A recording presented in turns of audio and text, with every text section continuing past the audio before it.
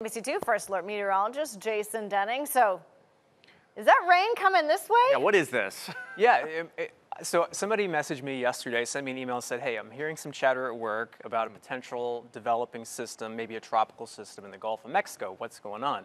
First of all, nothing for us to worry about. Second, in modern times, we have never had a documented tropical system develop in the month of April in the Gulf of Mexico. We've had them elsewhere, but I just want to show you what you might be seeing on social media okay. and why people are talking about it. You can see this little spin up right here, most likely a non-tropical low headed toward the coast of Louisiana. And for us, it just means we're going to see a better chance for rain starting tomorrow and into Thursday, but we're not going to see a washout or anything like that. So I just don't want anybody to, you know, get upset about that. If you might hear somebody talking about a system developing in the Gulf of Mexico, nothing that would have a big impact on us. The last time we saw an April storm develop, a named storm, was back in 2017, and that was Arlene. That was way out in the Atlantic, so that's usually where it happens if we do get an April system, but those are quite, quite rare. And by the way, the first name up this season is Arlene, but as we check out the water temperatures in the Gulf of Mexico, you need those water temperatures up closer to 80 degrees for something to develop. So even if a low develops here, it would not be fully tropical.